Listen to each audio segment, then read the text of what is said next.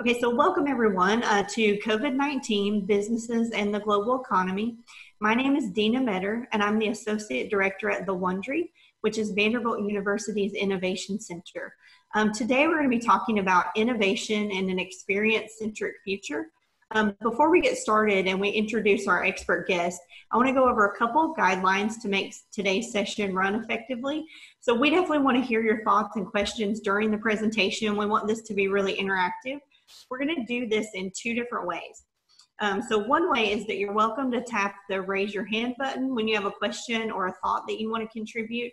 Uh, we'll stop the speakers and then we'll ask you to unmute and you can ask your question and then go back on mute. The other thing that you can do is you can type your question in the chat box and then either Michael or myself will stop the speaker and we'll ask the question for you. Um, you're welcome to have your camera on during this session. I know it helps me um, to feel like there's an audience out there and you're talking to someone when I see faces. Um, but at the same time, if you are going to the restroom, you happen to not be wearing pants, then maybe not leave the camera on. Um, so we want you to feel really, really welcome during this session and empowered to ask any questions that you have while we have this expert on. Um, so without any further delay, I want to introduce you to our host and one of our speakers, Amr El Husseini. He's a great friend and mentor of mine who's been a tremendous asset to the Wond'ry since we first opened in 2016. So Amr, if you want to take it away. Thank you, Dina. Thank you everyone for joining again. Welcome everyone. Um, I am very excited today. This is unfortunately our fifth and last session, but it's um, it's a very, very important session and um, it's going to cover, I would say, the last piece of the puzzle that we've been building towards uh, for weeks now. This is our fifth. Uh, we started in uh, in March, and what we tried to do over the past probably month and a half is uh, to try to understand, unpack what's going on in the world, unpack um, the challenges, unpack the risk, unpack the uncertainty, try to understand what it means for businesses, what it means for economies, what it means for people, investors, all different sides of the um, of the uh, global supply chain. Uh, we try to also understand what are the scenarios potentially for recovery.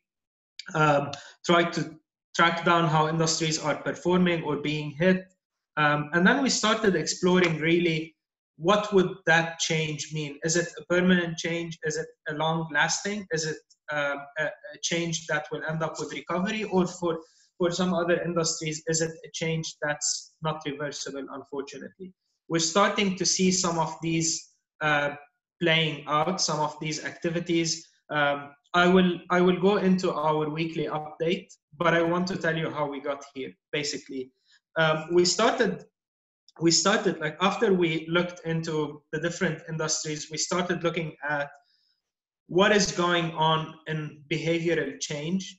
We talked in the first and the second session, we focused a lot on how important perception is and how important um, confidence is and how important consumer spending ultimately is on the demand side of the curve and how would that apply to the supply, to the economic output globally. So we started with that and we explored it very much in line with digitization. How is behavioral change and the digitization starting to influence or catalyze change in industries? We then dove into what's the state of technology today? What technological enablement do we have? But really, when you look at it, technology in a lot of aspects is becoming like a commodity so it is available to a lot of people, and it's the same type of availability, um, broadly speaking. The biggest differentiation is going to come with how this is explored and the adoption and the perception, which comes from one specific thing, which is experience. Um, if I start by like challenging it from the from the other side, I would tell you what's your least favorite company to work with? I think I'm gonna uh, I'm gonna throw out a name and tell you why. Um, but I think being in Nashville and we have people from all over the country, all over the world uh, joining, you have personal experiences in whatever market you're in. And if you if you take a minute and think about it, you're gonna find that experience is at the core of your perception of a company. Why do you work with them? And if you notice also, sometimes you pay a little more to get a better experience. You talk to a lot of people and they tell you, we pay for experience, we don't pay for a product per se itself. We pay for the connectivity of the product, we pay for the ease of use, um, for the support around it. And all of these are experiences designed around um, a certain offering. Now, um, I promise to say what's my least favorite um, company. Um, it's Comcast. And um, if anybody doesn't agree, I'd, I'd love um, for a comment or uh, somebody to talk to me about why not and convince me that it's a great company. But every piece of the experience, they have excellent technology, but their experience is always miserable in the sense of it's designed to keep you like to make it hard for you to get through and get things um, to work. And if you think about fabulous experiences um, that you have you're going to think of many but you're going to probably think of amazon among the top 10 and amazon made it super easy for somebody yes they have fabulous um, technology. Yes, they figured out supply chain management uh, and logistics like nobody else, but also they've offered you a screen that is so easy to check anything you want, couple of clicks, one click sometimes, just to buy, and for something to be on the way being sent to you. So um, we'll get into a lot more detail on that. Satyam is uh, joining me today. I'm so happy for him to be joining me. He's a great friend of mine. He's a leading uh, global expert in that space. He's a thought leader in the space, and he has worked with countless companies, leading technology and other companies around the world um, on this um, on this aspect. Um, I will I will introduce Satyam in a minute. Uh, just wanted to to to like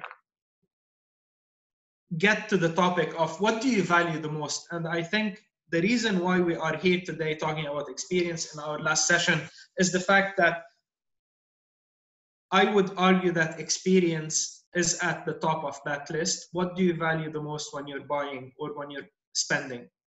Um, and this is something that is very key today because so many industries, so many infrastructures are changing at the moment. And it's going to go down of how do we design or redesign the experience of our consumer or, or our customer to make it the most attractive? And sometimes how do we stay alive by using that downtime to improve what we have?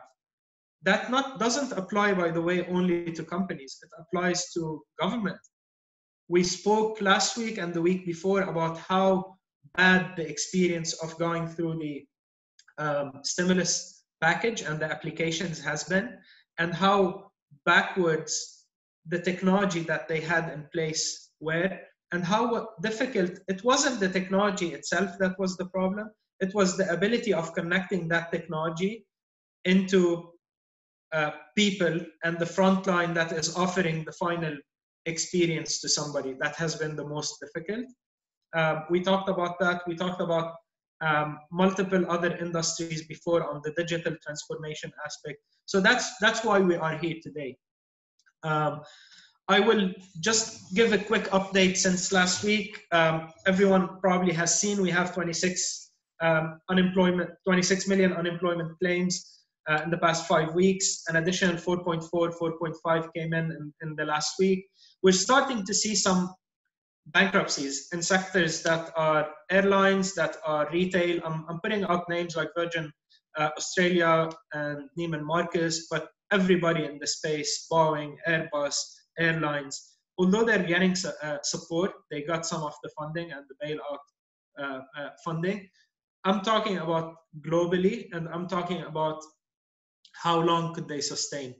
Um, airlines have already said this will take them probably through to June but when will that recover? When will everything start to recover? And how deep are the pockets of governments to keep spending money? We talked about that. And this is building a lot of tension, if anyone is watching the news, between um, two groups a group saying uh, saving lives is a priority, and another group saying, well, saving the economy is equally a priority. And the big debate is there's no clear answer for that. The debate is the following saving the economy is very important, great. What if we have a second wave that is more like much harsher on the economy than the first one? Can we go and do the same? On the other side, saving lives is important, but also there's a realization that the government cannot keep doing that. And this is something we highlighted in the first time, like in our first session. We said post 2008, a lot of governments have um, used a lot of their tools to regenerate or re-energize some of the economies. They they use the interest rate, they use the um, printing cash, they use the issuing debt, they use a lot of these tax taxes. So a lot of these have been used tools. It's very hard to continue to tap into the same resource when it's not unlimited. Um, we talked about hyperinflation as some of the risk. A lot of that is are things that we covered.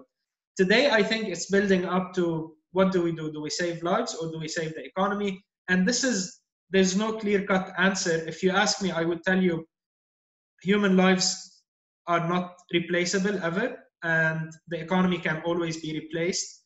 Uh, but I don't want to make the conversation today. I'm highlighting the challenge of decision making and of leadership through this time and how it's coming down to individual cities and individual companies in some cases to make decisions. I know we have a lot of business leaders on that call, and I would always encourage everyone to take responsibility during times like that to, to come down to the right final decision on do I want to put my people that I am responsible for out there during a time like that um, the global economic easing, we saw we saw a lot more. Like the U.S. government announced close to 500 billion dollars, 480 specifically additional spending because um, the early one focused on small businesses and healthcare. Uh, the early package that was launched was depleted very quickly, and uh, and that forced them uh, to do that. Um, and our second um, session, we talked specifically about that. This is not a stimulus package. This is more a um, easing package for damaged businesses or damaged parts of the economy, the people that are damaged, um, unemployed, etc. And this is what it's proving to be. It's not creating any growth. It's actually going to replace some of the gap that was created um, on the economic output. Um, since last week, stock markets continue to go up. I said last week it doesn't make any sense. I, I said last week that um, a lot of those decisions are made by robots, and robots don't really know what they're doing when it comes to um, like something that they haven't seen before. It's a lot of um, um decisions being made by um, algorithms that have learned from previous experiences, and this is something that is happening for the first time. So no justification. I can't tell you why, but I can tell you it doesn't make sense. That's if you're wondering. Um, I think the key question we come back to every week is what's next. Um, what's next is going to depend on how long this lasts and um, the response that comes with it. Um, but but what's next? For sure, now we know that there are major transformations in, in a number of industries. Um, the biggest ones that I can highlight healthcare, uh, we've seen the highest adoption rate of telehealth uh, since it's ever existed. Uh, yes, it went through the regulatory um, phase of like getting regulations adapted, and then um, customer adoption. I think the biggest trigger of that was like of that pandemic was the customer adoption, and even more, it was the provider willingness to try it and to adopt it as a main source of offering healthcare the biggest bottleneck in that i don't think were consumers or governments it was doctors and practitioners themselves because they were it was a new technology it was not really um, um, very familiar and it was we don't really have the time to go through that change and unknown while everybody else is doing um, what they've done forever. So who's who's gonna jump first? This came and became a, an immediate catalyst for adoption, and I would argue that I don't think we're gonna go back to where we were after this is over. I'm I'm hearing from a lot of doctors and nurses and practitioners saying, you know what, it's working even better. We're more efficient. We're doing more. Uh, we're probably not going to go back. Now, what does that mean? And what does that mean from a are we ready? I don't think we're ready. I think we need to adapt. We need to transform. We need to um, to, to, to, to change the way this is uh, working. And this is where our topic of today, experience design, is at the core and super important to address. Um, what about office space? Um, I just want you to remember something before I continue. And this is, I wrote it at the bottom, but it's really for every everything. I am not talking about when we say new norms and transformation and disruption, nothing changes 100% overnight. All it takes is a one or two or 3% of the user base or consumer base to change their opinions and the, their behavior for that to create um, the momentum necessary. And I gave, I gave um, in that sentence Airbnb and Uber. Airbnb, they completely changed the industry. They shook all the hotel chains. Um, they created consolidation in the market. Um, Marriott acquired so many other smaller brands, including the Sheraton, etc., etc., all driven by the, by the impact of what Airbnb did. Airbnb has four or five percent market share. It's nothing if you think about it, but it has transformed the world. So it all it takes when I say change, all it takes is for a controlling minority or a strong minority, I called it the critical minority, to adopt a change. And that critical minority in healthcare is happening. We're seeing it, it's already there. I don't think it might go back to where it was. I doubt it would. What about the office space? We're talking about trillions of square feet of office space around the world. And companies now thinking, you know what? If I had a thousand people coming to the office, maybe I need 500 or 600 or even 800 but 800 means 20% of space will become available. That is by its own enough to completely shake industries and transform the way they operate. Um, same thing is with education. Maybe education will not you, you'll, you'll find people that will argue on both sides and people that will tell you you can never replace uh, the physical um, the physical connectivity within education and what comes with it on the emotional and social uh, building, social uh, learning. But also, all we're talking about is for a minority, a critical minority, to, to decide to move into more technology driven education. And we're going to start seeing questions like Would you like to have a diverse class from like 40 countries that you're learning in school with? Um, or you'd like to go to your local school and see people from your neighborhood, 40 people from your neighborhood that all speak and look and behave the same way. How do we how do we weigh the benefits between the two? I don't know the answer, but those are things that we're gonna start seeing, I think, as we move forward. Um, retail has it been transformed forever? We're already seeing the big names suffering. They've been suffering for a while, but something like that will come and like break that cycle. We we've seen uh, Neiman Marcus, we've seen um, Macy's, and we've seen Nordstrom, and we've seen so many others that that are uh, already reconsidering what do we do um, in that space. Consumer behavior and spending patterns have definitely changed. That starts from the personal finances on how willing people are to spend and um, given the challenges and given the uncertainty about the future. But it's also how do we go to restaurants? How do we spend our salaries? What are the priorities? All of that has changed. Um, do we really um, want to explore changes in those industries while looking at technology VR is making strides in bringing some of these experiences to people. I want to specifically ask Satyam when we start, how does that change? Like if you want to travel to five countries, you have two options. You get on a plane, you go through the whole um, process, you spend thousands of dollars, or you, you just put in a VR uh, device and you go through the same experience. How does it affect?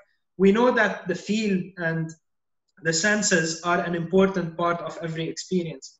But as we develop technology, there are uh, alternatives to provide um, to either an alternative or something um, to complement that experience. This is something I think to put definitely on hold. It's the first thing as a question to jump into. Um, Satyam, would you like to ha- say a couple of words on that, or we we go to introduction and then uh, and then no, no, no, no, absolutely. I think there's a there's a whole disruption of experience that's happening on AR and VR. So what's going on in the context of COVID-19 is a lot of people have to figure out things by themselves. The AC is broken, they have to figure it out themselves, right? Now, what's interesting is a lot of companies are saying, can we actually in AR and VR, so augmented reality, can I actually look at my AC while I have an augmented reality layer and troubleshoot it itself, uh, and literally see you know what's going on with my AC, what's going on with my thermostat, things that you typically typically would have to have a technician come in and look at, right? So the same applies to uh, you know virtual reality in terms of workouts right? A lot of people are looking like suddenly you're looking at workouts uh, being done in a virtual reality space where your body is still getting the same workout and getting the same sense of in a class of a gym. Now the factor is has a you know large multinational like a Planet Fitness thought through that, right? They have closed their close uh, stores and and we were in a session together, uh, Amr, where somebody just mentioned that they had to close 500 stores. But what if? But the fact is, people still want to work out right? People still want to get a sense of, you know, and again, working out with resistance or your own body weight is like an easiest way of doing it. All you're trying to do is just get your fitness level high. So there's a lot of these variables that haven't been thought through. And again, thought through with the best experience. I mean, how do you get a VR set? How do you learn it? How does your mom and pop, your grandma, how do your kids do it? These are all these variables that have to be thought through that honestly, I think once thought through you, the real estate cost, as you called out, once that is off, you can come in a very strong price point you can do it from anywhere in the world disruption is like written everywhere around that yeah and um, like just imagine having all you all you need is like a treadmill and the the device to go and hike if you're stuck at home. Um, you, you'll still get pieces of the of the view. You'll get um, the the sounds, you'll get the experience, the full experience potentially, um, without uh, without even moving. So um, I'm not saying this is going to be completely changed. I'm saying those are openings for technologies like that and experiences like that to start going in. Now, go ahead. Think about Peloton, right? And Peloton, I think this is the best time for them to kind of be there, right? I mean, they were already a they were like a high cost brand and everybody like okay fine you're doing online workouts in your bike that's kind of provided now suddenly again if somebody was to create that kind of an instrument uh, or that kind of a device i mean it again can create a good experience around it you effectively are created a you know it, that's at least if anything it's a billion dollar product overall if you look at market cap there's so much disruption available and i think it just takes one person to do it and a small segment to do it but the best part is the whole world is going to do it because if, prior to this, if you had a gym, you probably get your neighborhood. Now, if you have a device like this or a system like this, the whole world. I mean, you have seven billion people who are actually a customer, uh, prospective customer. Absolutely, and um, another another idea that comes to mind, and then we will dive in. Um, and Dina, uh, since you're on, um, Dina has been working on an amazing technology that offers the, an alternative. It's in the fashion industry and it offers an alternative for walking into the store and trying everything in person to do it just by letting a computer measure your size and show you how you would look like wearing um, different pieces. That's a new experience. That means when this is um, advanced enough and um, functional, you don't even need to walk to any store. You don't need to touch and feel uh, that. All you need to do is to save an hour by walking and spending the time and potentially going through the security or the healthcare hazard by just sitting at home and picking your uh, your next. Uh, Dina, would you like to say anything on that? Yeah, um, obviously this was an important challenge even before all of this started. So we were seeing super high return rates, um, some issues also with conversion for online sales. We've seen lots of brick and mortar stores that were already closing and already struggling.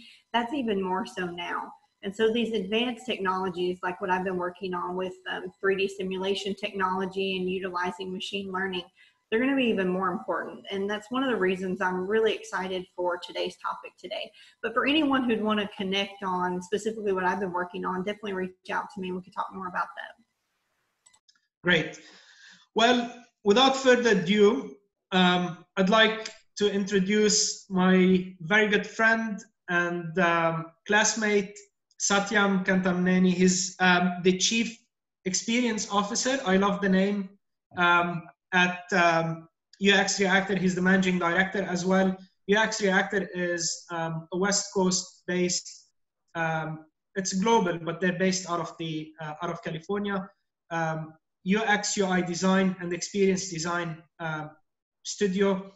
Uh, they have an academy. They have a lot of exciting parts to the business that are growing um, like nothing else. And um, it's a very exciting time for this space. It's a very nice addition to our conversation, I think, today, and where we've led with our uh, focus of the topic. And I'm very, very excited for you to join Satyam. Uh, Satyam, just very quick background, Harvard Business School grad. Um, he is um, he worked with leading companies like PayPal and Citrix and and and specifically focusing on experience design and user experience. And that concept has evolved over time, and Satyam would do a much better job in exploring or telling everyone what does that mean and how that concept changed. Um, I can tell you it's it's very much more of a science than you would probably realize at the beginning. When you are changing the way people interact with technology, it's not something, it's not a guesswork and it's not an instinct. There's there's there's an art connected to it, but it's very much driven by numbers and research on on data points that consumers interact with and touch points that people would like to see in products. Um, Satyam, I'll pass it on to you. I'm very happy for you to be joining, and um, the floor is all yours. Just tell me how to move slides, and I would be more than happy to do that. Absolutely, absolutely. Uh, so I'll probably start off with a small story, right? And that uh, what is experience design, how it's evolved and brought come down here. Uh, I started my career uh, studying a uh, profession called human factors engineering. So basically understands the study of how humans interact with technology. Uh, when I did this a uh, couple of decades back, it was predominantly a defense-centric profession. not again, it was just about when the dot-com boom was starting. Uh, and it started out actually, it has roots in the Second World War. When again, when you look at uh, you know, invention comes out of necessity, uh, where you know obviously wars have brought a lot of application and necessity into technology. Uh, they were you know you literally had aircrafts being built with you know a lot of switches and uh, a lot of different technology that was built into it and they started seeing a lot of ejections uh, right before uh, you know air, airplanes, especially fighter pilots. Uh, there was a study, and they saw, saw, a lot of ejections happening in airplanes right before they entered enemy territory. All right, and then it quickly kind of why has this become a norm? Is it like we just don't have the right talent, or or, or the right kind of pilots, or what was going on? And then they realized that in the uh, in the fog of war, uh, the arm your weapon switch is right next to your ejection switch and both of them have the same affordance right so someone actually created it from an engineering perspective works perfect but in the experience design they put it right next to each other have the same effort. And so people were thinking that they were arming their weapons but effectively they were ejecting out of the plane because it was the same thing And, and that is the genesis of experience design. Just because the feature exists doesn't mean that people will be able to use it because you have to think about every nuance of it. And it's kind of become a, a, a must have for any technology as we are starting to kind of see more and more. Uh, in fact, I tell a lot of uh, business leaders that I work with that if you have a feature that people can't find or use, might as well never have built that feature. Uh, with that said, uh, I think it may help if you could go to the next uh, slide, Amr, is to kind of bring it back to what's happening with COVID-19, right? And, it, and this has been a very interesting shift. It's been a shift that we've been seeing, but has accelerated like multifold over the last uh, few months. Uh, remote working was always there, but remote working in industries that are not supposed to be millennial or not tech centric is kind of become very interesting right? Think about it right? Our gym that we work with uh, basically is doing remote gym classes. Now think about it. Physical trainer remote working when did that start kind of kind of coming together? You start seeing school teachers who actually teach in the local school teaching remotely. Remote working it's, it's not only remote working for tech workers remote working is kind of increasing more and more. Teachers have to spend their time you know figuring out how to kind of structure it how to kind of communicate how to kind of grade. Uh, they are asynchronously talking to a group of people that they don't see. There's a whole different set of experiences that have to be thought through. Uh, and coming back to the point of homeschooling right? Think about it right? Parents are now a big part of that experience previous to this i mean the parents would walk to the, their kids to the school or you know drop them off to the bus and then walk away and then you know at 3 p.m or 4 p.m that's the next interaction with them. Now you have kids who are walking in and saying like you know have i done this right? I mean uh, the fact that kids are walking into a meeting and then talking to you and then kind of reviewing stuff is become a norm now. So again think about the experience of how do parents interact with the kids because the softwares or whatever they are being used today are very much built as a technology but what is the teacher experience? How do they kind of upload their material? What is the student experience? How do they kind of engage with their their the experience itself? What are the parent experience right? These are all these small stuff that has not been thought through but what's working well is students are still learning. Students are still getting educated. So i think the outcome is happening but the pain to get to the outcome is kind of still a large pain. I mean for for example my, my i have a uh, eight year old uh, daughter who's going to third grade uh, all her classes, social studies, science, math, everything is in a different system.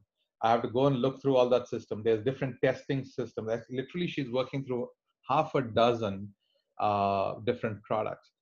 Uh, what is again interesting is my eight-year-old is much more. Her learning system is much different than I would say my 70-year-old mom. She's getting intimidated by different kind of you know when you start having to jump between products so experiences differ by humans and differ by people. And I think that is the digital reality that's happening. How many more government digital procedures? Uh, Satyam, sorry, just one, one quick comment on that because this is very interesting. Um, if everyone remembers in our second or third session, um, I talked about why some industries have not really been disrupted the way others have and why the revolution has not really touched these industries. And I gave the example of financial services and I gave the example of healthcare. And I said, if you are a market research specialist and you're going, what's the first thing you look into as like why, if you want to answer why financial services hasn't changed? The first thing that comes to mind, yes, we have PayPal. Yes, now we have Venmo. And yes, this model is changing. But really it's a technology adoption. It's a technology adoption and the perception of somebody making that decision to take the risk of the unknown. Maybe it's zero risk but for them it's an unknown risk of putting their money and connecting it to a screen. And who can see that and who can interact with that? And i said also it's a fact that the majority of the savings is with the, with the older people because they have worked much longer. It's just a natural um, thing that happened. And because the adoption, as Satyam is just saying, of the older people is on average lower, this has completely put a whole industry globally behind the advancement of other industries. that have moved much faster because of adoption rate. Satyam, back to you. Just wanted to interject with this comment. No, absolutely, absolutely. You're only as strong as your weakest link, and unfortunately, I mean that's what was holding back a lot of the uh, the rethinking of the systems.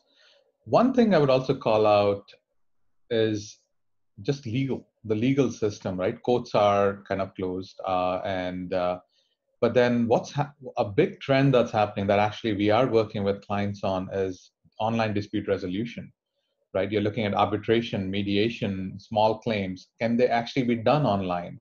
And how do you do that online right? I mean just again think about it. Zoom is an awesome product but zoom does not support multi-room arbitration right? What does that mean? It means that you know you have people in different rooms and there's an arbitrator that's going between these rooms and talking about you know, hey, party A and party B, and then something can be shared, some things can't be shared. The physical thing of being when you go to mediation rooms or arbitration room, which actually still is a big part of our legal system, how do you bring that online, right? But the factor is, it is completely uh, doable online, and people are doing it somehow, hacking through it. But the experience is painful. I mean, and that's kind of where the aspect is. If you're looking at innovation in this digital world, you have to think through these and if you kind of can bridge that experience gap you effectively have a you know a really strong proposition now one big thing i know we spoke about telemedicine quite a lot uh, but i'll actually give you a point to think about if telemedicine actually has now opened up the gate that you can actually talk to a medical provider through a medium like an online or a digital or uh, what uh, FaceTime or whatever the medium is, then why would you only talk to a doctor in California? Why would you only talk to a doctor in Michigan? Why not a doctor in Mexico? Why not a doctor in India? Now, suddenly you're talking about healthcare costs kind of come dwindling to a fraction of it, which previously was not, because I think there are still regulatory issues. But why not? You can still talk to a doctor in Brazil and say and talk to them and say these are the symptoms I have and not still pay like two hundred dollars. There's all these business models that actually will come up and but the factor is people are doing telemedicine, people are talking to doctors. Yes, there is no element of physically checking someone, but the factor is you know most of the times 90% of the diagnostics is history. And if that history is put together in a good experience for the physician they can actually diagnose it they can engage with you they can look at you know how way you're going how you're going uh, and there's actually a whole experience around that that have, hasn't been thought through. Right? Two more things i'll kind of call out in this uh, uh, grid uh, one is decreased open housing open houses right so real estate i mean people still want to sell people still want to buy but the factor is how do you kind of do an open house and such and lockdown, right? Now, what I, this is exactly where a VR system comes in play. Can you actually do a VR? Can you can you walk around a house multiple times and kind of look at things? And so, but again, think about it. In an open house, you probably are in the house for about 10, 20, 30 minutes. But with a VR system, you can look at that house again and again and again and make your choice with so much detail that was not available before it has some advantages, has some disadvantages, but the fact is it kind of normalizes. And then connected to that is, you know, closing. Closing a home previous to this, a lot of times, you know, you didn't have notarization was a very physical process. And now legislations are being passed in a lot of the states where they think digital notary can apply. And therefore you can actually, you know, verify yourself online and you can digitally sign something online. And now the closing factor where you had to go to someone and kind of do uh, something with a physical uh, closer is actually now kind of going away. You see this digital reality, and all this reality is bringing up a lot more to the fore things like who exactly is the experience built to. And it's actually multiple users, multiple systems, multiple contexts. And therefore, experience design becomes so much more critical because you think through each of that detail. Design the word seems very artsy but experience when you think about every user it's, it's a very scientific process. And I, I hope to share some light on that today as we kind of talk through. So if we can go to the next slide. Uh, we've been hearing the word digital transformation quite a lot uh, over the last decade. A lot of companies are moving towards from a physical system to digital now it's imperative for companies to do this to survive. If you do not i mean that gym does not have a digital presence that notary does not have a digital presence you will not survive. It's just the norm. It's kind of where it's becoming more and more in your face that you have to digitally transform right? And so they please don't take that away. I mean you have to still bring more and more things online. The fact that people are standing uh, in a line outside uh, employment exchange that doesn't make sense you don't have to stand in line anymore whether that means that you need to have a system that kind of allows you to kind of authenticate online then let's make that's a system that will come and that will happen in fact know, a good friend of ours is runs the the, uh, the national identity program for Singapore, uh, and he basically everything you can do online. You just have you can authenticate online, and every transaction you can send money to someone online by just having a digital transaction model, uh, digital identity model. That kind of is. Now maybe that's kind of where it is, but the fact is digital transformation is an imperative. Uh, that's one takeaway that I want everyone to walk away with. If you're not doing it, uh, we'll be those dinosaurs that will actually perish fairly fast. If you go to the next slide, uh, so what's going on is because just because you had to be digital, this is what's going on. You just are slapping things online, right? So I'll talk about three different situations that have happened, right? So you actually have tools that are putting a lot of things uh, as feature centric, uh, like I have this feature, I have that feature, but it's very hard to find, very hard to navigate, very hard to understand what's going on. So therefore, people don't use it, and they, they still go back calling someone. They still go back standing in a line. You have to think about why in this space are still people going to a branch, and in a financial uh, setting or if and for a, a doctor consultation. And then you start realizing that there's still some unmet needs that have to be resolved. It's not as easy for people to kind of pay. It's not as easy for them to kind of enter their uh, uh, conditions. It's not easy for them to kind of uh, look at you know finding something. And these are all experiential problems. Now the, the commonwealth of massachusetts the state uh, this is their unemployment insurance uh, online application. Uh, it looks like it's designed in the 90s right? And it's kind of very much is true. In fact they had a big call for cobol programmers. Cobol by the way was something i learned in late 90s as a programming language.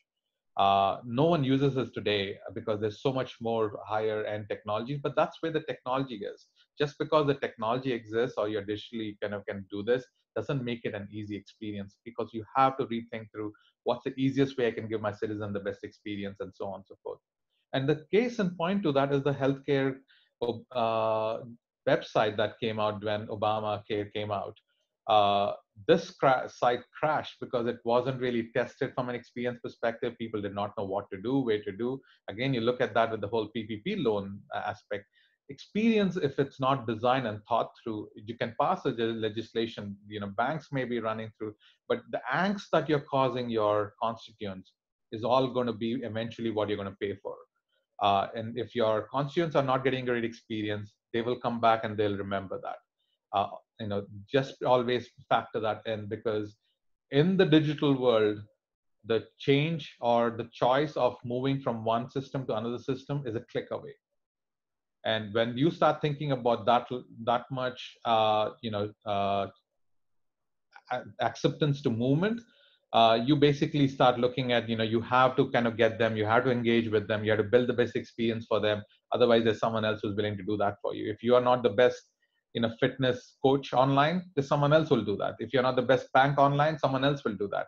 And that's the reason why you have to kind of really figure out a experience that's centered around people. But just because you're digital doesn't make you a effective product, but digital is still imperative. If you go to the next uh, slide, uh, Amr. So just wanted to call out, right? So we are seeing this transformation where physical was the thing where everyone wanted to go to the local bank and engage with them. And then suddenly everything was digital. You could send money digital, you can bill pay digital, you can yeah, transfer money digital, uh, you can order checks digital.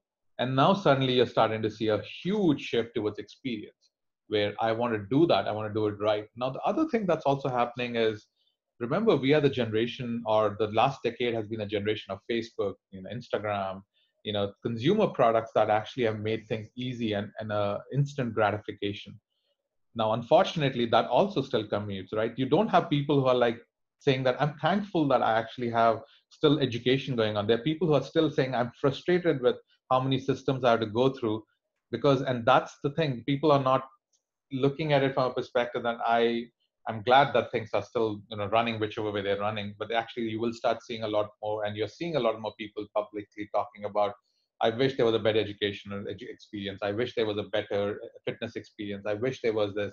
And that's the norm. People are still doing what they're doing.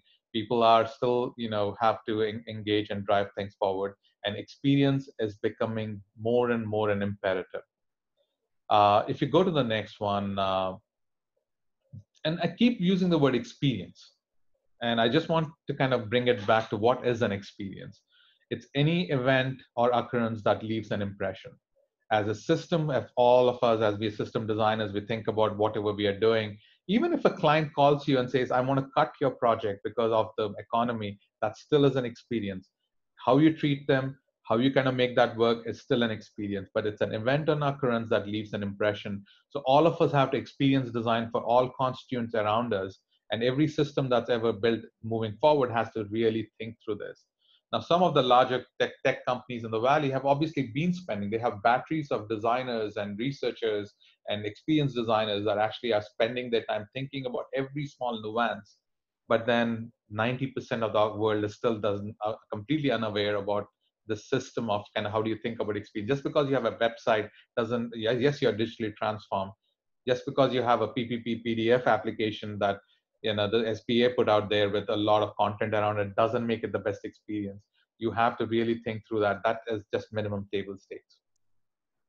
Um, Satya, just one thing on that, which also we covered previously, and this is just a reminder and connection, making the connection. We said experience is not only for users or for customers. Experience, if you see most what most companies are focused on today, they're designing experiences for onboarding for their employees or future employees. They're designing brand experiences for anybody that they come across, even that's not a customer, that might be a customer in four years or five years. How do they come in with the perception and their willingness to engage with the brand? We talked very much in detail about that when we addressed the human capital piece. Okay. Uh, I think in the second or, or third session.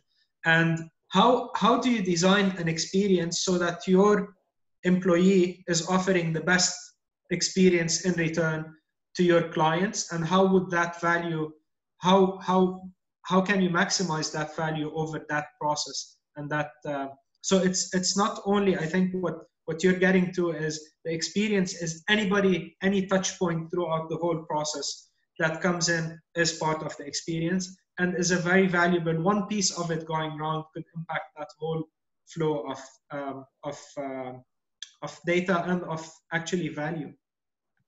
Right. In fact the, statistically for every bad experience uh, you give in your system you need to make it up by five good experiences so that means five good experiences people expected one bad will completely uh, you know negate that uh, and that's the unfortunate model of this, you know, fast clicking thing. If somebody is unhappy, they are five times as you know willing to kind of post that online and say I'm unhappy with X bank or Y bank.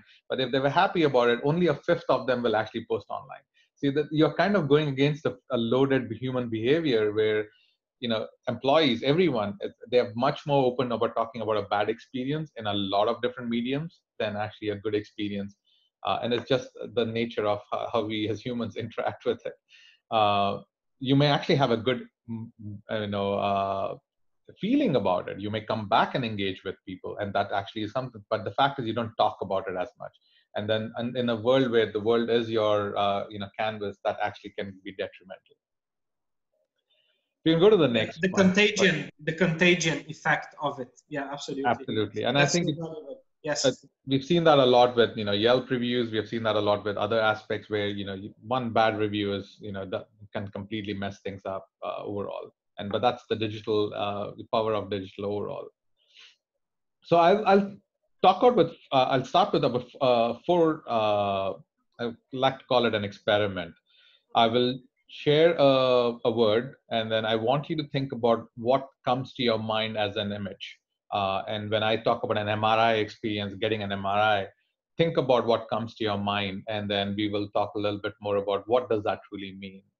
Uh, and this is a, a very interesting exercise, uh, so please play along. Uh, so first one is MRI experience, right? When you think about it, most people think about this, like going through an MRI, you're going through a big system, a big machine, and then you're engaging uh, with uh, you know a lot of doctors and professionals. But if you click to the next one, uh, what if you click to the next one, uh, This is an MRI experience for children, right? Especially children in uh, in oncology setting, right? So the highest sedation rates actually happen uh, with uh, kids because they are not as an adult they don't follow orders. They are kind of getting they get intimidated. So a really uh, uh, you know a smart designer a gentleman named doug dietz uh, from ge uh, healthcare went in and kind of thought about what is that experience. He studied the experience of the parent the doctors the uh, the uh, patients or the kids themselves and said okay how do we create an experience around so in this case, they're actually going through a jungle safari. They're going through that. That's the story that's being told. They actually are engaging on that. Now, immediately brought down sedation rates by a significant fraction, uh, to down to a significant fraction. But the fact was you're designing an experience for the person, for everyone, and this was a big change. Now, again, when you think, I think of MRI versus what actually happened, somebody had to design this experience. Someone had to think through all nuances, and this is a case in point where everything, even a mundane thing like a MRI machine, can actually be designed around. Again, it has an on, it has a lot of. I mean, when you start looking at it, as Amr was kind of alluding to, anytime you design an experience, you think about the journey of every constituent that you're creating an experience for. You create every touch point that they have, all the way from the point that they actually get down in the parking lot.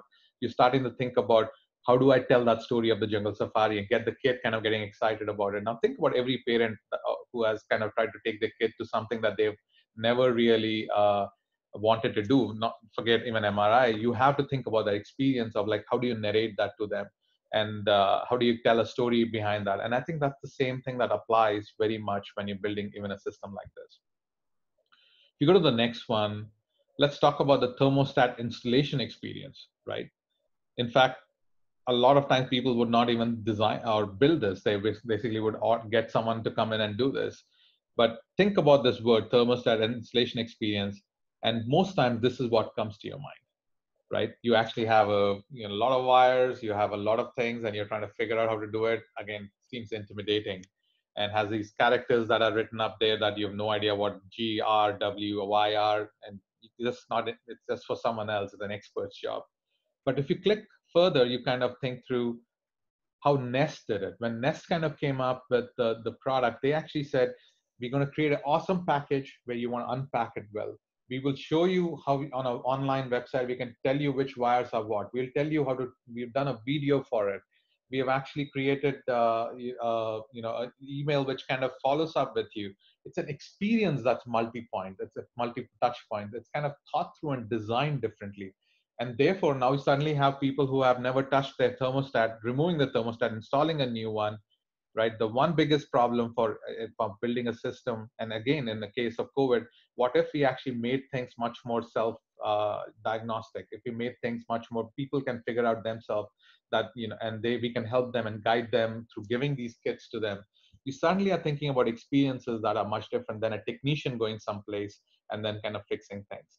Again, experience when you think through every detail can actually be done right and effectively can make you again a multi-billion dollar product line let's go to the next one uh, retail banking experience right i think this one is going through a significant transformation by itself just through covid uh, but when you think about retail banking what typically comes to your mind so now if you can click to the next one it's typically you're going through a bank, you're standing in a line, you're talking to someone, you're waiting for uh, somebody. But then when you think about how do you kind of rethink this experience in a more effective manner, uh, a really good brand, which actually started online, Capital One was predominantly an online brand that is now going to brick and mortar. And actually, you know, this one would again be right for disruption. They created the concept of Capital One cafes. It's been uh, that concept has been copied a lot more now, where it's actually an open space where you sit, you have coffee, you have a barista, you have a, to build this experience. You have to kind of work with space designers. You have to work with suddenly a mixing retail and uh, banking. The banker comes to you. Uh, you basically have free Wi-Fi. There's a, a lot more, uh, you know, motivation to bring there. Uh, you, to have meetings there, and it's kind of a concept that's now gone through a few cities Uh, now again, think about it. Someone has to design this experience, and it's kind of and it, it, suddenly you are kind of talking to clients, you are engaging with folks in a very different manner. Um, Satyam, just a quick um, interjection here. Um, if you guys remember, we talked about something very specific. Um, I think two weeks ago, we talked about the example of healthcare, and I was saying, who's going to be the next winner in healthcare? Is it going to come from an amazing experienced designer like Google, Apple, Facebook that are going to jump into healthcare and find talented doctors and offer a better experience? Or is it the traditional healthcare providers that are all of a sudden going to realize, oh, well, experience is important, let's go back and do it? I'm willing to bet that it's the, the, the first one and this is what we're seeing in a lot of cases i don't think i think it's much um, easier to crack the let's build the expertise versus let's develop and design the experience for everybody. It might be taking time because they're just thinking about that system. And once you have that system this is a system that's going to be running for decades. So you need to get it right. And this is probably where um, the, the longer time is coming. But some events like what we're going through are absolutely drastic or bring drastic change or transformation and things like that because all of a sudden you're forced to use the system. You're not even it's no longer an option because you can't go out. And this is who's offering you the best experience. And that's where some changes that are unforeseen that's where you see dinosaurs from the past that don't exist anymore. It's something that came that forced the hand of the user to try it. And once they've tried it, they've seen the experience change and they never went back. And I think we're heading towards a similar case with healthcare. I think retail banking is a great example as well. And those are, I keep saying, those are probably the largest two that have not been changed. Absolutely. And uh, there's a lot of uh, lot of things that can uh, be disrupted at this point and, and people are thinking about it that's kind of the the scary part because people have time people have it's been forcing it and this is truly uh, necessity is the mother of invention and there's a lot of necessity right now in the market. Absolutely. Uh, and, and and just also one step what does it mean? We have such a diverse group of attendees. What does it mean for everybody? What does it mean? I think the way we look at it, or you should look at it, is well, if you're an investor, this is going to open a whole world of investment opportunities for you. What's the next investment you would want to jump on that's going to be the future? If you are an entrepreneur, well, all of a sudden you have ma- massive markets that you might be able to tap into, or also like jump into from something that you've been doing for a while. If you've been in in whatever in um, robotics you might be you might find yourself in something completely different on the engineering side of robotics you might find yourself actually in healthcare and if you are in education you might replicate that experience in financial services and vice versa. This is something that we've seen. The cross contamination cross pollination of industries is something that happens during such times. If you are um, a business owner how do you protect yourself and your company and your people? Or a, a corporate executive it's the same. How do you stay relevant in the future? How do you keep yourself and your company and your strategies and your products relevant for the future? And you actually increase your market share once everything uh, recovers. How do you use experiences uh, not experience events like that to improve experiences of everybody involved in the process? And how do you come out on the other side as a winner? So I think wherever you are on the spectrum, um, if you're a student, professor, investor, founder, whatever, there's a lot I think to learn from that process. Um, and we're leaving it up to everyone to really individualize or tailor the experience to where they come from. But I think that experience still applies to everybody that, that we're trying to cover and go through. Satya, I'm back to you. Sorry. Uh, absolutely. Uh, it's interesting that you know the last time that the whole world had so much shared context, uh, I probably would think about it as probably the Second World War, where so much innovation happened because everyone is thinking about the same thing. It's not like I'm thinking about my stuff. And especially in this context where with the tools and things available, uh, I would strongly challenge investors and, uh, and entrepreneurs that the world is now a canvas. Everyone is so tightly tied uh, that I think there is a lot that will happen over the next, uh, you know, this is a pivotal moment when obviously you will see a lot of that happening over the next decade. Uh, cool. So moving forward, one aspect that I think is becoming more and more clear, just as I said before, that just because you're digital doesn't, you know, it's important to survive, but you will not thrive, right? So you will, people care more about experiences than features. Just because I created an online application, I created an online product, that's not what people really care about. They want an outcome, they want a good experience, they want to walk out saying that, yep, I got my money, I got my thing, I'm I, uh, I, a lot of times people buy a product online. In fact, you know, I used to work for a company called PayPal, and even now people call they like I say, you know, hey, why don't you send money through PayPal if you're trying to send it to somebody international? They're like, hey, is that safe? Uh, and this world and this generation, safe is such a relative word, but yes, of course. I mean, there's so many more checks and balances. They spend 50% of their money just to keep people safe, and that's why they're thriving but people don't understand that. But now that you have to use it and you want to send money international instead of wiring and going to a bank you can send money to anybody at paypal uh, through any bank and on an email. So it's actually very interesting and i think the factor is people care more about experiences and features. They will pay more they will engage more they will uh, you know talk about it more. It effectively is a critical uh, differentiator. Now talking from the fact that digital transformation is imperative to survive, experience transformation is imperative to thrive, right? If you're going to thrive in this market, you're going to get more market share, you're going to keep increasing adoption, you're going to keep, you have to experience, uh, experientially transform. You have to think about how do I do that? How do I engage with that?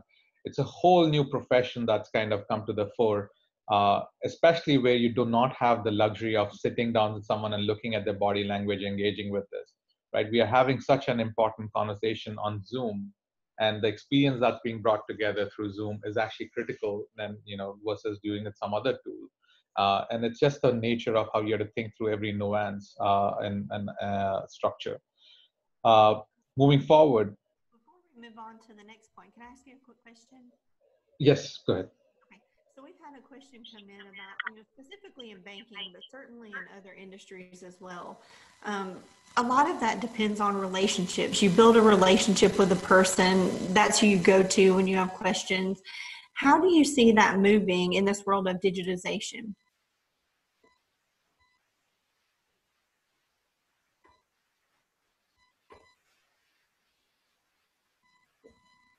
Sorry, I, uh, so the question was, how do you see uh, the relationship-based businesses moving uh, in this world of digitization? Uh, yeah. the answer is let's put it down in the perspective of your relationship experience. How is that going to take on uh, online right? There's still so many ways. You can you can text each other. You can talk to each other. Previous to this you had to set up an appointment with your relationship manager meet them but now you can text them call them see if they're know, think about the world where you know you see they're online or offline. You can actually uh, you know there's an element of still having that high touch uh, conversation. There is but you have to think about that experience differently right? You could send them like a text and say hey can you call me when you are ready?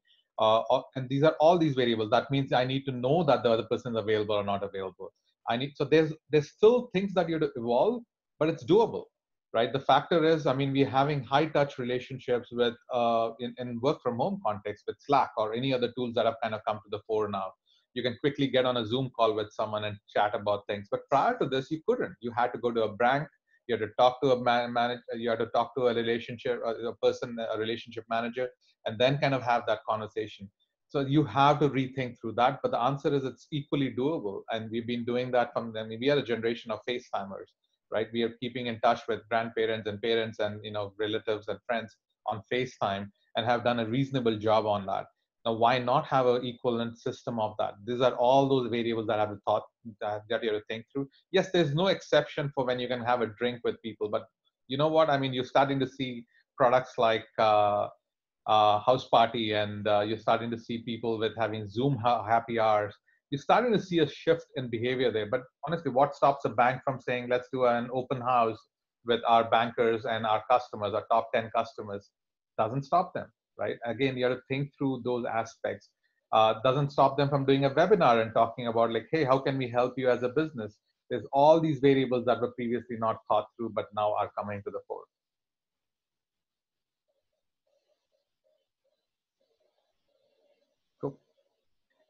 Uh, moving on, I know I'm just a little uh, conscious of the time.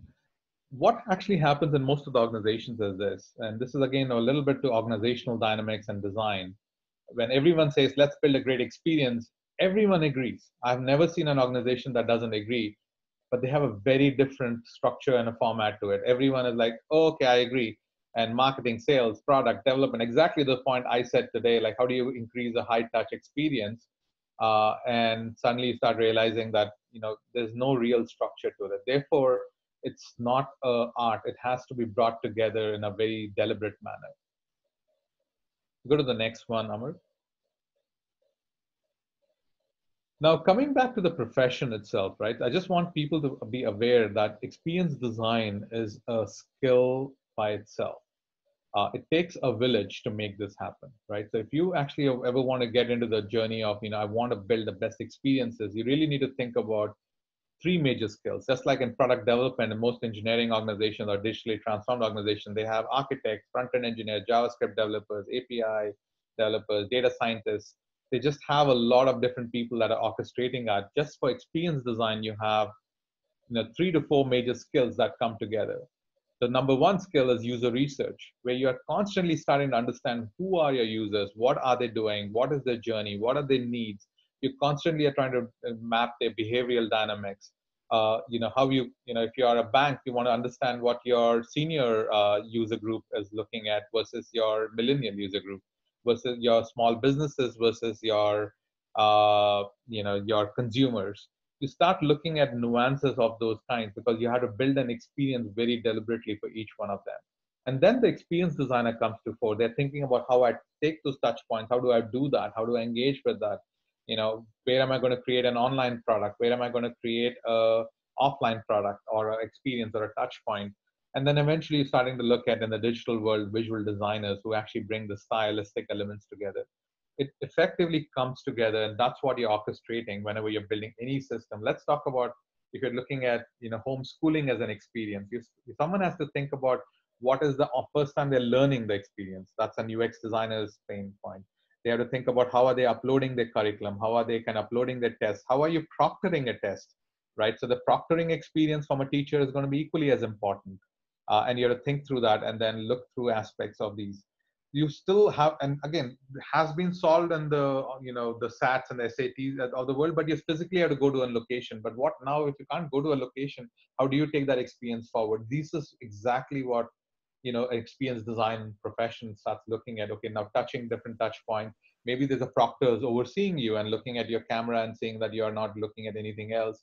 And while you're doing the test there's all these other variables that come into play and again where technology meets a use case and then the designers can design a really effective model around that that's truly where magic will happen and biggest value creation will happen.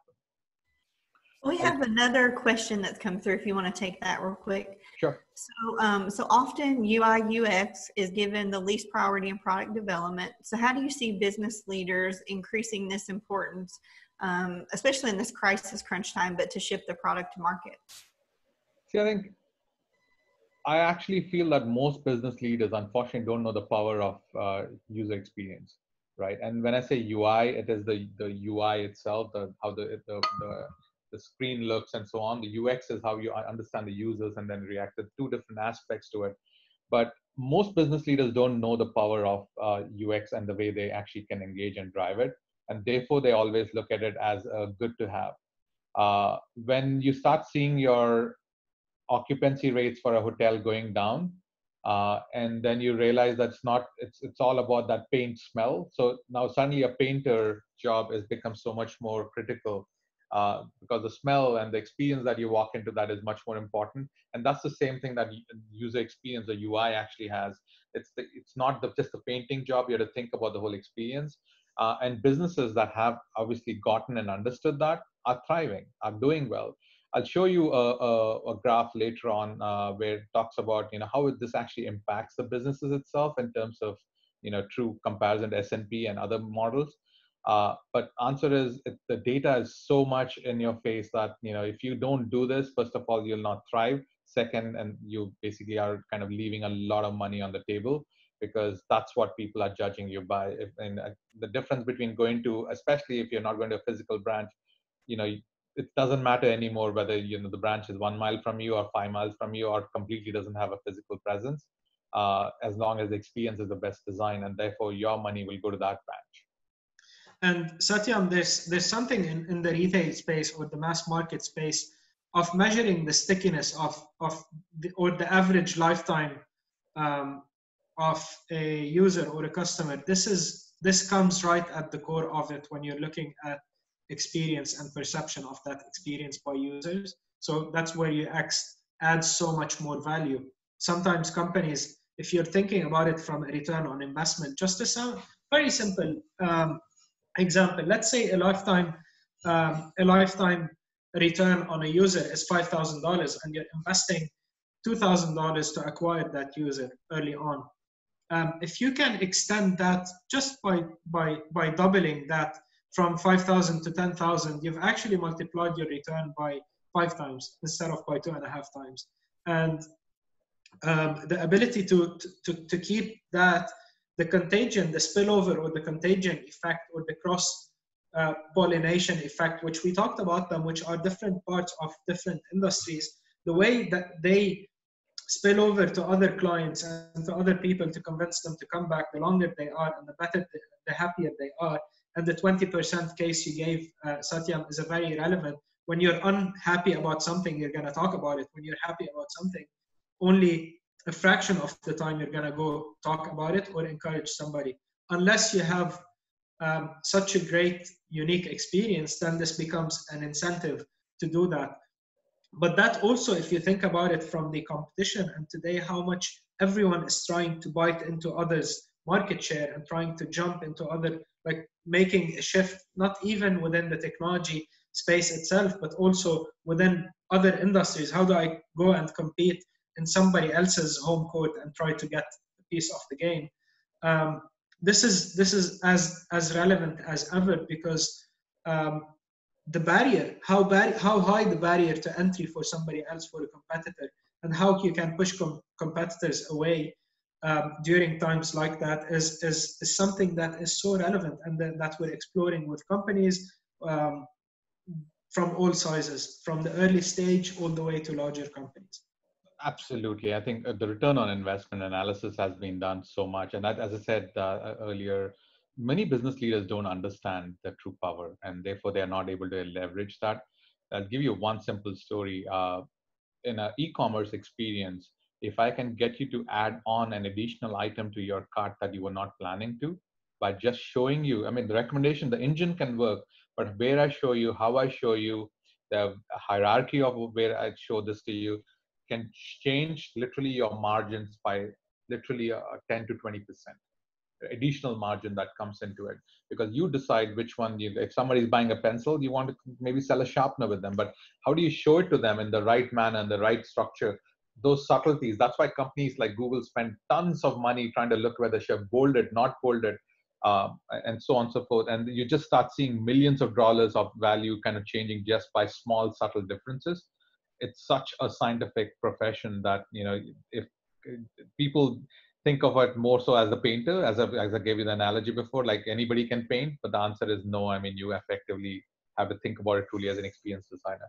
So i'll quickly show talk about three the three aspects of this right so there's research there's design and there's visual the three major i would say cornerstones uh, one of the three major cornerstones uh, of uh, this profession uh, any good uh, uh, experienced firm actually will start with research, understanding or understanding the user itself. you have different techniques, methods, and so on. This is not the same as market research methods. These are much more fine-tuned, much more evolved. Uh, so think about it that way, right? What is your journey mapping? What how is the journey of your customer go through your process? Looking at every touch point and seeing how well can you create that experience much more effectively. Uh, testing each of those experiments that you have. The, our professor at HBS is, a, is, documented and done so much good work on experimentation, has proven the fact that uh, Professor Stephen Thomke, uh, you should look at him and study his uh, models where experimentation and companies that experiment a lot more actually are much more successful over a longer period of time. And in the digital world, you can build a lot of these experiences, test it out in different ways, and then kind of say which one works for whom.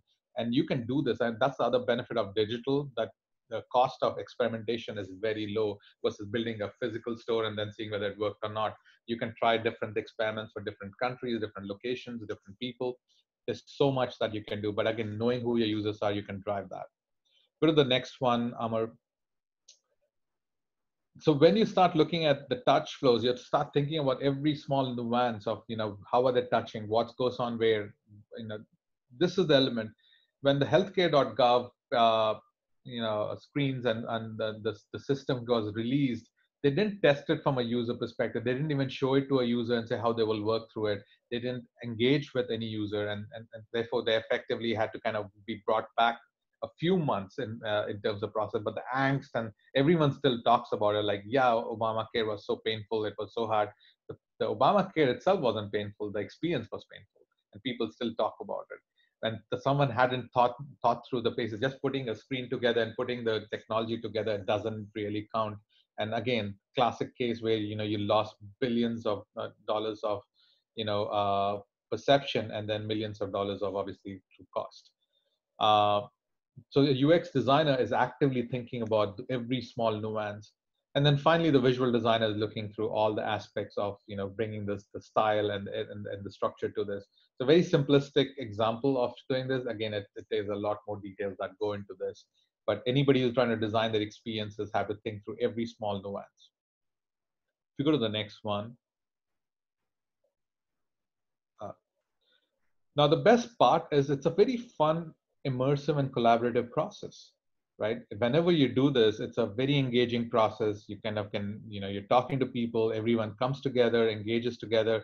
Now the whole disruption that's going on here is uh, we are actively working on tools that can be this can be done online. You don't have to physically come to a space you know uh, this is again back to 3m right? They're making post-it notes but can you make sticky post-it notes and create an app around that right? Can they because post-it notes is a huge part of ideation and structuring and stuff now, if a 3M brought that out, then they suddenly are looking at all these variables. But there's opportunities that are opening up everywhere. But the whole process of experience design is a very fun process overall. And I think, and when you go through it, you'll start realizing that it not only has a direct effect of building great experiences, but you also start thinking about nuances like, you know, you having alignment, everyone is kind of has much more empathy to their customer and everyone has a single mission all these other side effects that come together that actually work together uh, this one is, a, is, a, is an example of how you actually think about one user and their whole experience in your system.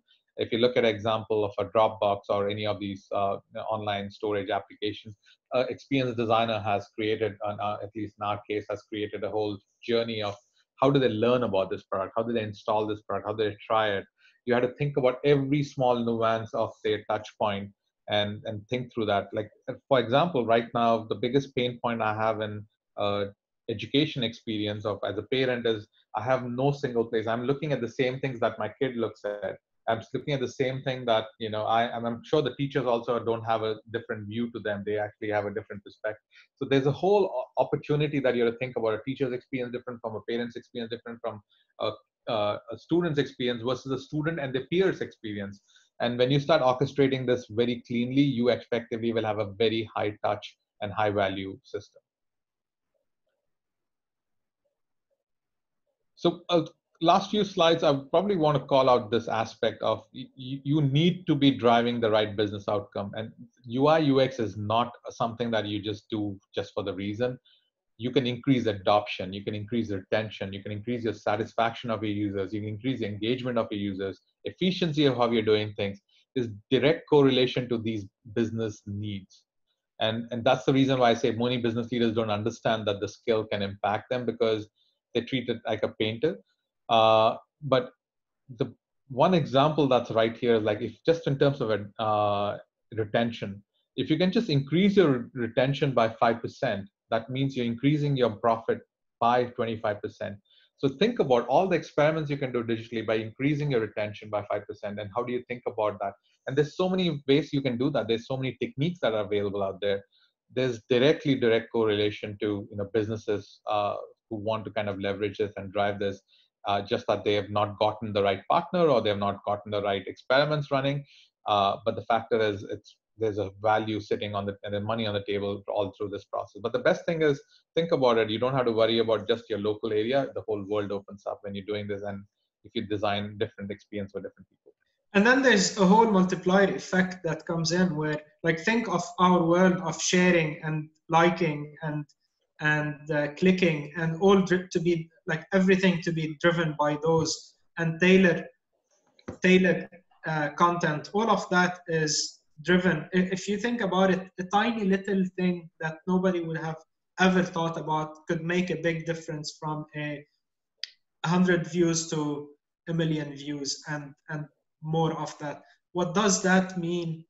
What that means in, in the sense of um, commercialization, of business impact, of financial impact is huge. It's very hard to measure. It's hard, it's very easy to measure the, the, the, the direct correlation that Satyam is talking about, but there's a huge under like un, like something that nobody is seeing that is correlation and driven by um, that impact that this is creating that nobody's yet talking about, but it's absolutely part of the um, of the experience. Absolutely. We go to the next one, Amr. So I, I, want people to look at this chart a little cleanly, right? So this was created by uh, the Design Management Institute, uh, studying companies between the year 20, uh, 20, uh, 2003 to 2013. Uh, the first and foremost takeaway is companies that actually had a design centric culture. That means they had researchers, designers, uh, in active experiments going on, beat S&P by 228%, right? That's literally two times what they were doing in the market and much more than two times. Now, what's interesting, if you study the graph a little bit more, look at the time period between uh, December 2007 to December 2008, right? That's when the banking crisis happened you see a big dip in S&P, but you see a slight dip in the companies that were design centric, right? That's something to kind of take note of. Now, what's also interesting is when the market opened up, there was a big switch for uh, the S&P, but the companies that were design centric went much higher. Their slope was much stronger, much farther, and so on. So you start noticing these small nuances. The market is the data is right there in front of you when the the bottom hits it doesn't hit you as bad when the peak hits it gives you much more value because people are coming back to you much more strongly and that's exactly what happened and this is again data sent data point 12 years back but that's the same reality it's actually today even more accelerated because the generation today is much more digitally savvy much more expects things to be much more easier uh, you know, and, and much, and unfortunately, they want more instant gratification than you know delayed gratification. That is the generation we are talking about, and the behavior changes they will judge you by that very uh, you know context. Uh, simple point is experience design, not UI design. In fact, UI design the least point of value creation. Experience design is the highest point of value creation, and when you start thinking about companies that really invest in it, uh, you actually del- deliver a lot more value the last thing I'd probably share with you is there's clear research uh, that Forrester has done that literally says that for every dollar you invest in UX, it brings you $100 in return. And with a return of literally 9,900 uh, percent, you effectively it is not something that is no more uh, you know uh, good to have. And again, the cost of experimentation of doing best experiences is really low. So I, it's just understanding of the business leaders that especially given that 90% of the world is still non-tech and they're trying to move to digital transformation but understanding that just being digitally transformed will not get you the value is a huge shift that needs to be understood and is kind of completely out there as the right thing to do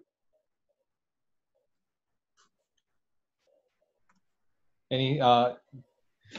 This is great, Satyam. This is wonderful. Um, this, this, I think, this brings back brings us back to the conclusion that we started with, which is technology is now a commodity. It's no longer a breakthrough or it's no longer a daily advancement. Everybody has access to roughly the same technology for the majority of consumers around the world. The biggest differentiation is happening with experiences today. And that's why we started last week by talking about okay, where is technology revolution going? What has happened and what's yet to be um, done? And um, last week we focused, Shyam focused very much on we have a lot of the technologies that we don't yet see in the market, not because the technology is not at par, it's because the legal, the regulatory, um, the product development is not there yet. But we are heading towards a lot of change, and the technology is evolving but what's going to drive that massive transformation over the past 10 years, which we said last week was more than the past 60 years combined, um, in terms of changes and influence, it's going to be enabled and catalyzed by experience. And that's why we left this session till the end to be the last piece of the puzzle. Think of it as investors, again, think of it as um, business executives and business owners and anywhere you are i think this is something to keep in mind and to keep focusing on.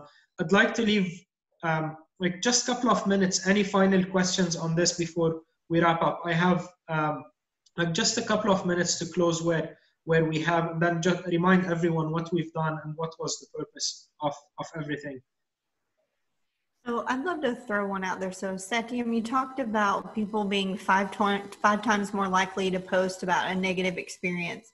What are some examples of designing that user experience that companies have deployed that you feel like has been more effective at encouraging positive feedback or positive posts?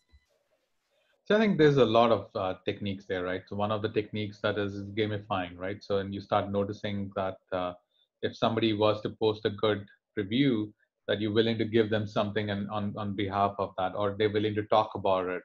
Uh, so there is elements of incentivizing. So there's incentivizing techniques. There's also techniques around right you know uh, airbnb does that consistently like pass it on to people and then or not airbnb like uh, a lot of companies have been doing the viral effect to that. Uh, but the factor is making those tools easier right? So like going and up, up uh, going to a separate tool and then saying i'm going to now go into my facebook and post it versus giving you the link right there with pre pre-canned uh, you know comment in there that actually allows me to quickly do that. So again it's all about convenience.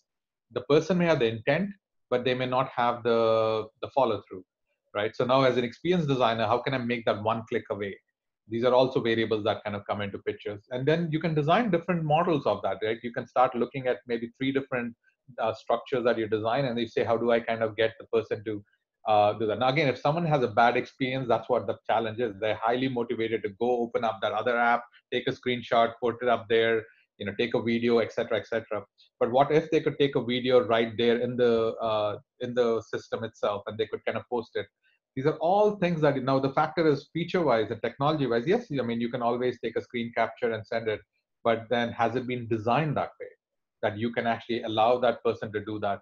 There's all these small subtleties that go in. Again, every system that you're designing for has to be thought differently. But the answer is yes, you are starting to think about how can I make it easier? How can I make it faster? How do I motivate them? Human behavior, psychology, all those things kind of come into play.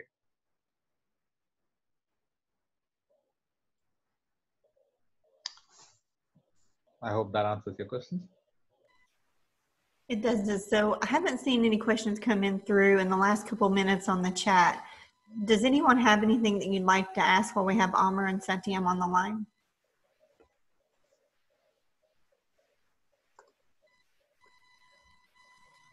So one thing, right, that I've been thinking about because I work with a lot of startups, so groups that are really just trying to get something together. They're still doing lots of research maybe talk a little bit about the difference with a startup, you know, getting something out there versus really trying to design that perfect user experience. See, I think there's nothing called perfect, to be honest, right? So the fastest thing is that you have to put it out there. You have to study what the market is telling you, right? So uh, first of all, knowing who your user is, because you still see 30% of the companies failing because of uh, market fit. You still see 50% of the companies shipping a product without talking to even one user. I think that's a strict no. You can be a startup or you can be a you know large company. If you do not know your user, you don't talk to your user, you don't engage with your user, uh, that is a strict no. You're going to highly fail, uh, and, and, you don't know what you're dealing with and who you're dealing with. Uh, you may have a lot of preconceived notions, but that's not the same as getting data around them. So I think that said, if you have the data and you have the structure, then you create experiments. The biggest challenge is user the UI is what you don't have to get perfect, right? You you have a hunch, you create an experiment, you design a structure, you put it out there, and then you let the users react to it. Then you kind of let that aspect kind of build, and you kind of tri- triangulate what the users are doing, what they're saying, and what they feel. So say, do, and feel as we kind of talk in the research domain. So you kind of connect that dots and then come back and say, is it working well, not working well? Okay, let's keep iterating and, and, and keep evolving this further. That is what how you build a product in this particular world. Uh, you need to have a gazillion experiments that you're kind of running. You're gonna get it right. Your users will react to it. Uh, and that's what is the, the sense of success. Now, just to get everything perfect and get it right, get it perfect with one user before you get it perfect for the whole group of users, right? So you can still kind of focus a lot more. A uh, lot of companies don't know who the user is, and therefore they create a lot of different things, and then they actually have a lot of group thing going on, uh, and then they actually spend a lot more time again trying to uh, unravel that between a lot of the stakeholders. It just wasted time and opportunity. The simple answer is, uh, you know, people need X. Right now, think about what happened, right? with all the systems that are going on with uh, the post uh, COVID 19 issues, people have immediately slapped together things and put it out there. It's the best scenario for entrepreneurs. Now they can study these systems that are suddenly emerged and say, where are the pain points? Where are the issues? What's going on? Okay, now I'm going to take it. I'm going to prioritize that. I'm going to solve that because teachers are already using Zoom. Fitness companies are already using Zoom or any other thing. Now, how do I take that uh, change and kind of build on that model and now really deliberately design it is actually what the shift is. But the answer is the cost of experimentation and cost of doing this is literally in days, not even months.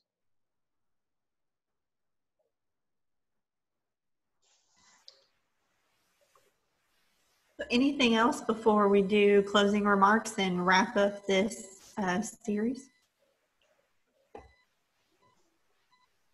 Nothing on my end. I just would say that you know, hey, if this is there's a lot of material out there people i think should uh, strongly look at you know just don't don't do the mistake i always say like people agree that you, you need to be fit no one knows what, what's the right secret to fitness is it you know health food you know diet sleep the same as when you're trying to build a really solid experience and a solid business around digital systems just being digital itself won't make you there so you have to think through every nuance and for more importantly, think about the users that you're designing it for. So, Amr, do you want to go ahead and start the wrap up? Yes. Um, so, uh, this is our fifth and final session from uh, this series, everyone. Um, this has been the, the reason why we did this is we wanted, in such a critical time and such time of uncertainty for everybody, we wanted to provide resources for, for anyone within the global community that is seeing events unfold and wondering what's going to happen. How am i going to be impacted? How is my business going to be impacted? What does it mean for financial markets for startups for everybody? We tried to focus early on on establishing a very important fact which is how much global economies are interconnected much more than we think. Although we hear people talking about um, um, disconnecting from the world and putting sanctions, all of that is in one place. But the world, we realized, is super interconnected and is going to continue relying on everyone else, either as a marketplace to sell your products or to source some of the talent or so source some of the products that you use or to travel, whatever that is, the world is super connected more than any other time, and this is only going to incentivize more connection. So when we think of our actions as business leaders, we need to think of how are we addressing needs and uh, challenges that are across the globe with seven plus billion people instead of within our local economy. The second thing is we try to, to, to unpack what a crisis management system looks like. How do we start approaching the uncertainty and how do we build response mechanisms within our own lives or within our own um, ecosystem or within our own organization. Uh, we highlighted cash management to be emerging as a key area of focus because this is the main survival tool. This is what every company needs to focus on. We're working with a lot of companies on that in the background, but I also hope that you as business leaders or as um, educators or as whatever you are in the spectrum try to apply some of these concepts um, to what you're doing on daily basis. Uh, we focused a lot on the startup businesses and the small and medium size because they are going to be activating a lot of the change for the future. They a lot of these are going to emerge as the biggest winners in the future but unfortunately they are also facing some of the highest risk so we looked at that and tried to understand what it means for companies to be in that ecosystem. And what are the major opportunities that will come out of this? With all the negativity around that there's always so much opportunity in business and investment in transformation and leadership in uh, technology and whatever that is um, to create change in the world and how to impact the world. We also looked at how behavioral change, this crisis impacted a lot of change in people's behavior and in digital behavior. And how would that impact the world and how it's impacting. And we tried to look at some of the previous examples to learn how they could potentially impact the world. We also looked at how enablement in technology, how advancement in technology is going to allow some of the changes to, to, to quicken or to happen at a much quicker pace and we wrapped up today with the uh, with the last piece, which is it's not really the technology that is bringing the change. Technology allows the change to happen. What makes the change happen is designing the right experience around it and understanding how it impacts your stakeholders from employees to users to customers to investors to everybody in that in that supply chain we continue to work with great partners like um, uh, UXReactor and Satyam at, at its helm on, on working and figuring out how to problem solve in cases like that. We also work with our clients and our portfolio companies on improving during such times and lo- looking at the future with a lot of, um, I think, enthusiasm because a lot of positive change will still come. This is what we tried to put forward, and I hope everyone learned nearly as much as I did. I learned probably more than anyone else being on that. And it was such a pleasure to be there. Deanna, thank you so much for making this also great partnership possible and um, for bringing the platform to offer those uh, those lectures. I'm very very happy that we had the chance to do it, and I hope we'll be able to come back with more content and more um, uh, material going forward that would adapt to cases as we change. This five series was our first. It was a great test. Um, we've had great feedback, I would say. Um, please feel free to keep sending your feedback as we move along. Uh, we're going to have the recordings, as Deanna said, and I'll leave it to her to wrap up. Again, thank you for all our guests from the first session all the way till today, um, ending with uh, Satyam, my great friend, um, who gave an unbelievably interesting uh, perspective. I know a lot from him, and I still learned a lot today. So anyway, Deanna, back to you to wrap up, and thank you everyone for being there throughout uh, those past few weeks. Yeah, thank you, Amr. Um, you know, without your thought leadership on this topic and moving us into this series, this would not have been possible. So, a huge, huge thank you to you and for organizing lots of the fantastic guests that we've had on during this series. And then Satyam, this was an excellent talk today to wrap us up. um, on the importance of user experience, which I think was the perfect topic for us to end this series on. Um, you know, we've explored, as Amr mentioned, a number of topics throughout this series, everything from just the economic kind of snapshot week to week to the CARES Act and relief packages to banking and different industries and how they've been affected to today, thinking about user experience.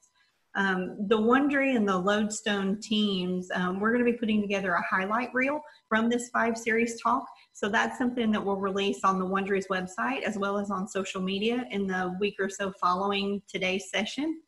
And as I've mentioned, the Wond'ry's Vanderbilt's Innovation Center Lodestone Advisory Group's a strategic investment and management consulting firm. Amr and I are both based out of Nashville, Tennessee. And even though this series is ending, you know, we're both still here if you want to connect as we navigate these next phases of the crisis and reopening. Um, the Wond'ry is going to be hosting a number of virtual events. One of the next ones that will be coming up is going to be a fashion sustainability discussion. So um, we're nailing down the date, but we'll have that posted on our virtual events page on our website once that gets going. We're also doing a number of short social media interviews with really interesting people all across the country. I have really enjoyed spending this time with you on these Monday sessions.